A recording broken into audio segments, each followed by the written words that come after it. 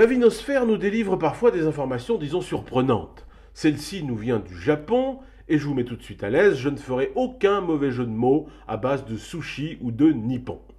Il y a un an, un industriel de l'agroalimentaire a eu l'idée de créer un produit totalement nouveau et révolutionnaire, le vin pour chat. Il est parti du principe que dans les éléments qui participent à un certain niveau de confort du chat nippon, au même titre que le panier confortable pour faire coucouche, les croquettes signées par un grand chef ou le collier en strass, il pouvait également y avoir le vin pour chat.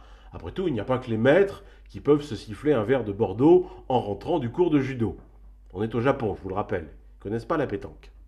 Le vin en question, qui ne contient pas une goutte d'alcool, est un mélange subtilement dosé de jus de raisin et d'Actinidia polygama, autrement dit d'herbe au chat asiatique appelé là-bas matatabi.